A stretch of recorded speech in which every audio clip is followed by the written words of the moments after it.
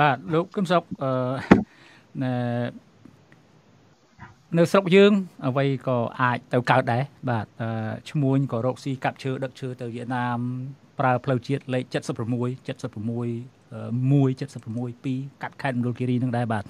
អឺចុះបើសិនជា drone ទាំងអស់នោះយើងនិយាយពីរឿង drone នោះជារបស់យោធាវៀតណាម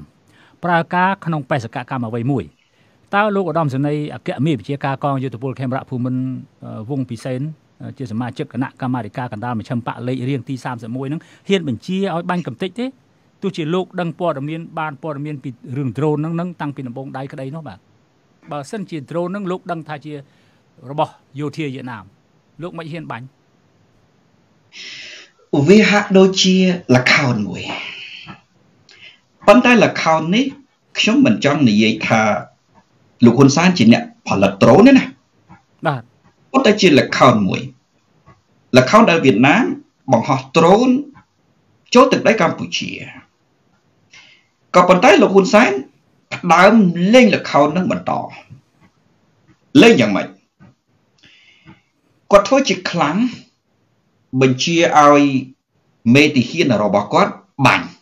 ប៉ុន្តែអត់មាននរណាបាញ់ទេយើងពិចារណាទៅមើល នាយករដ្ឋមន្ត្រីបញ្ជាឲ្យបាញ់បាញ់រហូតទៅដល់អាវុធធុនធ្ងន់អាវុធទំនើបទំនើបបែរជាបាញ់ពីគ្រាប់យើងគិតមើលទៅមើលបាទតើនេះជាលខោនអ្វីតើវាជាលខោនរបស់លោកនាយករដ្ឋមន្ត្រីហ៊ុនសែនដែលគាត់ដឹងថាជាត្រូនរបស់វៀតណាមទៅហើយប៉ុន្តែគាត់អត់ហ៊ានទេគ្រាន់តែធ្វើខ្លាំងសម្ញែងថាបាញ់ដើម្បីគាត់ព្យាយាមពង្រាយកងទ័ពជាពិសេសកងអង្គរៈ ហើយនឹងកម្លាំងអង្គភាពប្រឆាំងភេរវកម្មដែលដឹកនាំដោយហ៊ុនម៉ាណែតពង្រាយកងទ័ពដើម្បីអីទី1សម្ញែងប្រជាពលរដ្ឋកម្ពុជាទៅវិញសម្ដែងទី1សម្ញែងប្រជាពលរដ្ឋខ្មែរទៅវិញប្រជាពលរដ្ឋខ្មែរឲ្យខ្លាច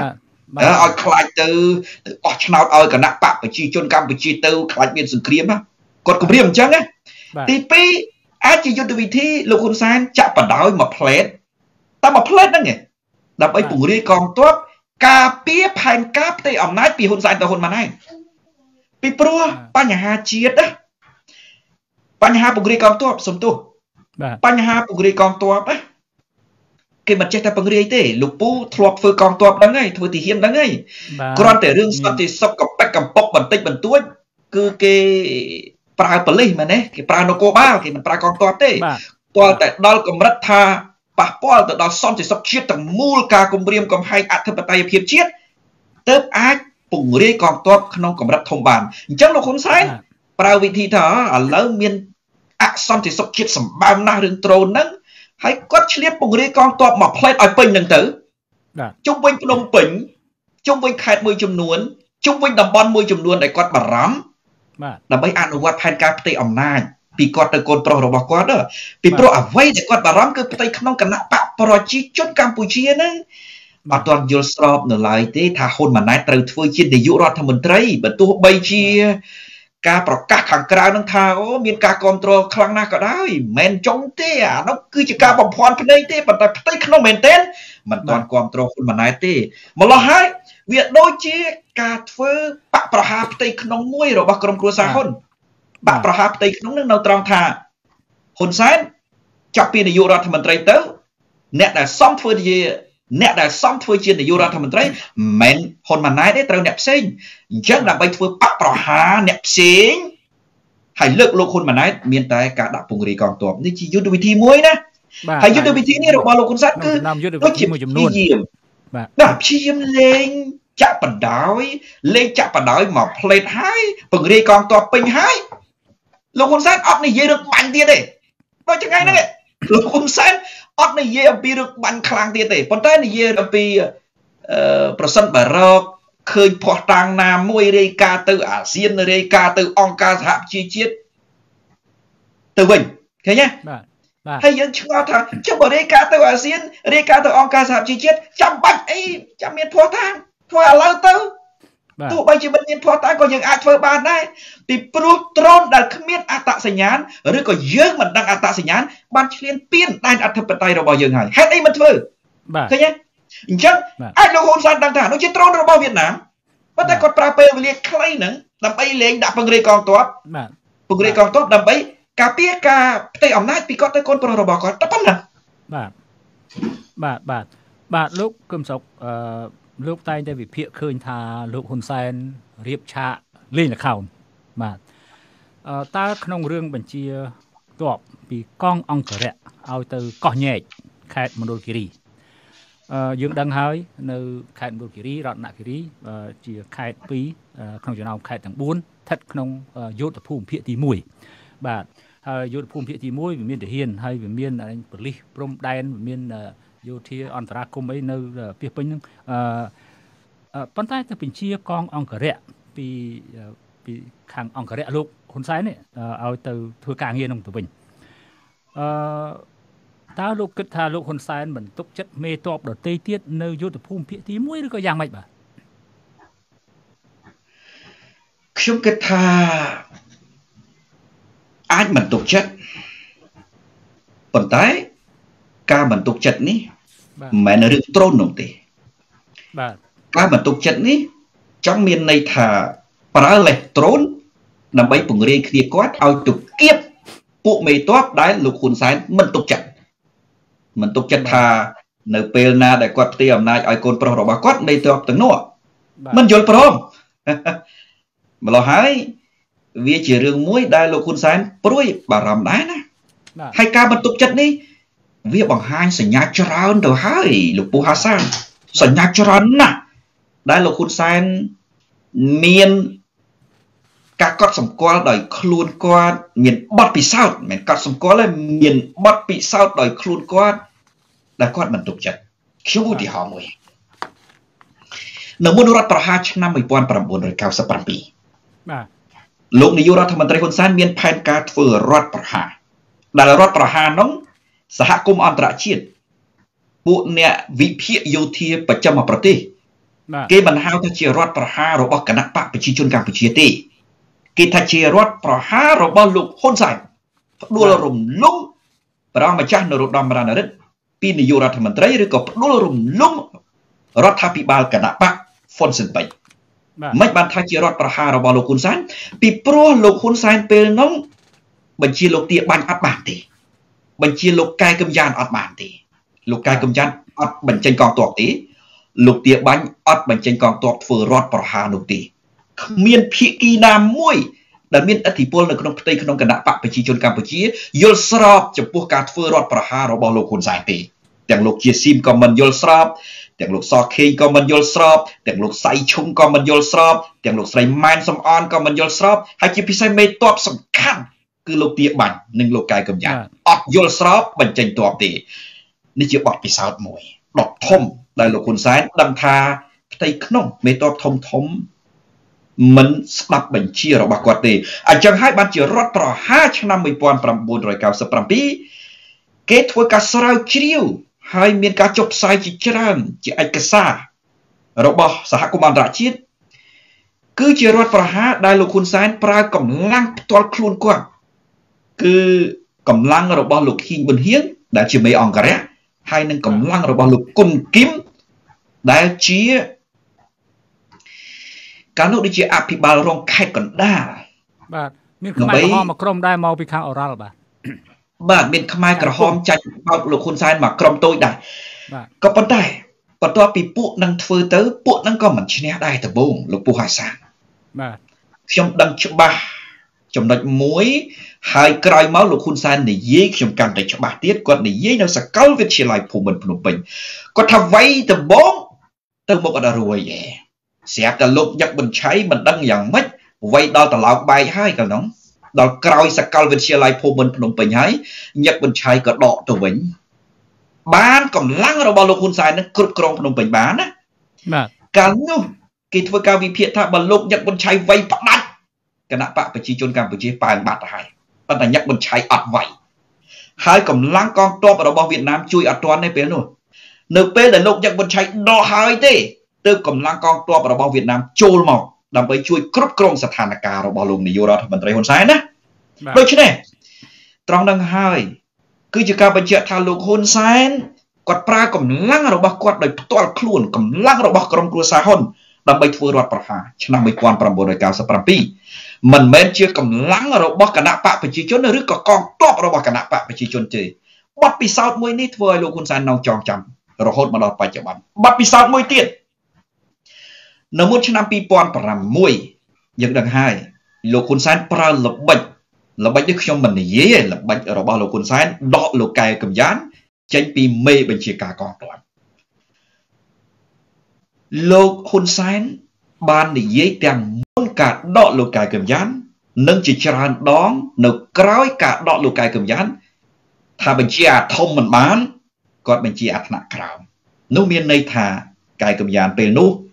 មិនត្រូវបានកែកំយ៉ានពេលនោះអត់ស្ដាប់បញ្ជាលោកហ៊ុនសែនទេមេតបធំធំ ដែលនៅក្បែរលោកកែកំយ៉ានក៏មិនស្ដាប់បញ្ជាលោកហ៊ុនសែនដែរអញ្ចឹងហើយលោកនាយករដ្ឋមន្ត្រីហ៊ុនសែនប្រើល្បិចខ្ញុំស្ដាប់ល្បិចនោះទៅក៏ ខ្ញុំស្ដាប់ល្បិចហ្នឹងទៅក៏ខ្វក់ណាស់ប៉ុន្តែខ្ញុំមិននិយាយទេប្រើល្បិចដកលោកកែកំយ៉ានចេញពីទួនាទីជាមេបញ្ជាការកងទ័ពឃើញទេពីព្រោះតែបញ្ជាលោកកែកំយ៉ានមិនបាន ក្នុងពេលថ្មីថ្មីហ្នឹងដែលគាត់និយាយថាបញ្ជាឲ្យកងទ័ពរបស់គាត់បាញ់ដ្រូនវាអាចជាការបញ្ជាមិនបាន ទី1ទី2អាចលោកហ៊ុនសែនមិនយល់នៅត្រង់ថា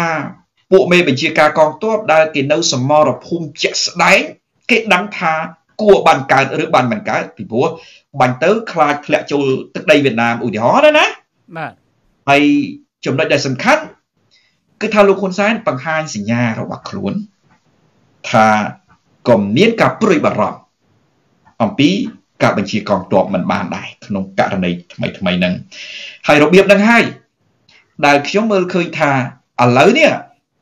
សូម្បីតែលោកហ៊ុនសែនមានបទពិសោធន៍ច្រើនដងក្នុងការបញ្ជាកងទ័ពមិនបានហើយចុះហ៊ុនម៉ាណែត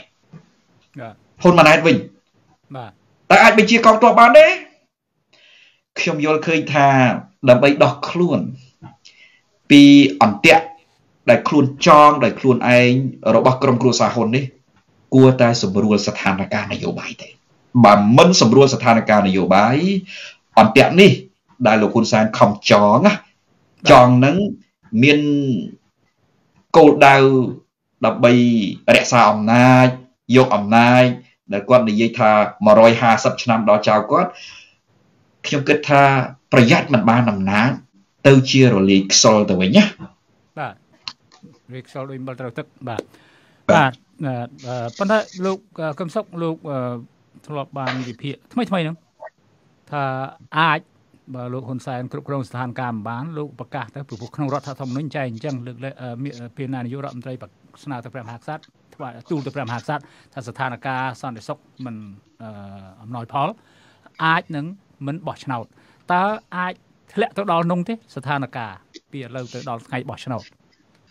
វាពិបាកធ្លាក់ទៅដល់នោះណាស់លោកពូមិនងាយធ្លាក់ទៅដល់នោះទេហេតុហេតុអីបាទពីព្រោះទី1បើដ្រូននោះជាដ្រូនរបស់វៀតណាម វៀតណាមក៏បារម្ភដែរបារម្ភខ្លាចគេចាប់សញ្ញាបានគេចាប់សញ្ញាបានវៀតណាមមានកំហុសធំធំច្រើនណាបាទកំហុសធំទី1គឺរំលោភលើធម្មនុញ្ញរបស់អាស៊ានកំហុសធំទី2វៀតណាមជាប្រទេសអធិបតេយ្យមួយរំលោភលើដែនអធិបតេយ្យមួយទៀតនៃប្រទេសកម្ពុជា ខុសទី3គឺខុសកិច្ចព្រមព្រៀងសន្តិភាពទីក្រុងប៉ារីពីព្រោះវៀតណាមជាហត្ថលេខីនៃកិច្ចព្រមព្រៀងសន្តិភាពទីក្រុងប៉ារីត្រូវតែគោរពខុសទី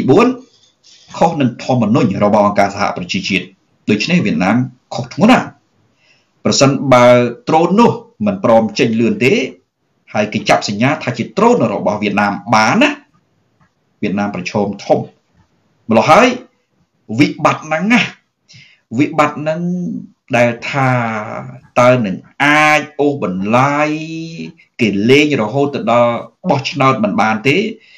អានឹងមានភាគរយតិចណាស់ភាគរយមួយទៀតដែលថាតិចនៅត្រង់ថាលោកនាយករដ្ឋមន្ត្រីហ៊ុនសែនខ្លួនឯងក៏ដឹងដែរដឹងថានោះដឹងថាបើនោះជាដ្រូនរបស់វៀតណាមគាត់អត់លេងធ្ងន់ទេបើគាត់អត់លេងធ្ងន់គាត់ត្រឹមតែពង្រាយកងទ័ព ដើម្បីផលប្រយោជន៍នយោបាយរបស់គាត់តែប៉ុណ្ណោះគាត់មិនផ្ទុះទៅជាការបំភ័យរហូតទៅដល់សង្គ្រាមទេគាត់និយាយហើយថាអត់មានសង្គ្រាមទេមិនក៏គាត់ធានាថាគ្មានសង្គ្រាមទៅបានពីព្រោះនោះជាការឈ្លានពានដ៏ធំមួយយើងអត់ដឹងទេបើត្រូននោះមកឈ្លានពានប្រទេសកម្ពុជា ក្នុងបំណងអាក្រក់នឹងវែងឆ្ងាយគឺថាពាក្យថា មិនមែនអាចផ្ទុះសង្គ្រាម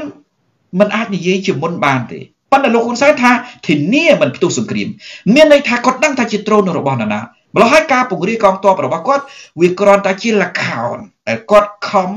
ដាក់ពង្រាយដើម្បីការពារការប៉ះទង្គិចណាមួយឬក៏ការប្រទុះណាមួយពីគ្នាឯងតែប៉ុណ្ណោះអញ្ចឹងការបោះឆ្នោតដែលជាលខោនរបស់គាត់វានៅតែបន្តដដែលទេម្យ៉ាងមួយទៀតលោកហ៊ុនសែន មិនចង់ឲ្យការបោះឆ្នោតនេះត្រូវលុបចោលទេដោយសារតែប្រសិនបើលុបការបោះឆ្នោតនេះចោលគាត់អត់មានហេតុផលទៅនិយាយបើទោះបីជានោះជាបើទោះបីនោះជាលេសក៏ដោយប៉ុន្តែគាត់យល់ថាជាហេតុផលគាត់ប្រើថាជាហេតុផលទៅនិយាយថារដ្ឋាភិបាលកើតចេញពីការបោះឆ្នោតផ្ទេឲ្យកូនប្រុសរបស់គាត់តាមរដ្ឋធម្មនុញ្ញត្រឹមត្រូវឃើញទេប្រសិនបើ គាត់លេងរហូតទៅដល់បិទការបោះឆ្នោតរួចហើយបន្តសភាអំណាចសភាតាមរដ្ឋធម្មនុញ្ញដែលថាមានកលាហលនៅក្នុងផ្ទៃក្នុងជាតិអាចបន្តមួយឆ្នាំម្ដងឬក៏សភាប្រជុំមិនដកឬក៏សភាប្រជុំមិនបាន អាចសភានឹងធ្វើការ ធ្វើការងារជាអចិន្ត្រៃយ៍តែម្ដងបើសិនជាគាត់លេងដល់ករណីនេះ មានន័យថាវាជាករណីធ្ងន់ធ្ងរទៅវិញទេករណីធ្ងន់ធ្ងររហូតទៅដល់គាត់គ្រប់គ្រងស្ថានភាពមិនបានមិនមែនពីព្រោះតែគាត់លេងទេចង់និយាយថាគាត់អាចលេងតែលេងជ្រុលជ្រុលរហូតទៅដល់គ្រប់គ្រងស្ថានភាពមិនបានផ្ទៃក្នុងគណៈបកប្រជាជនកម្ពុជាអាចលេងមែនទេដែរតែដូច្នេះ ក៏រុញបណ្ដោយទៅតាមខ្លឹមសារនៃកិច្ចព្រមព្រៀងខ្លឹមសារនៃរដ្ឋធម្មនុញ្ញកម្ពុជាគឺថាមានកលាហលបន្តអាណត្តិក្នុងរយៈពេល1ឆ្នាំម្ដងសម្រាប់សភាឬក៏ប្រជុំមិនបានបន្តការងារសភាដោយស្វ័យប្រវត្តិបាទ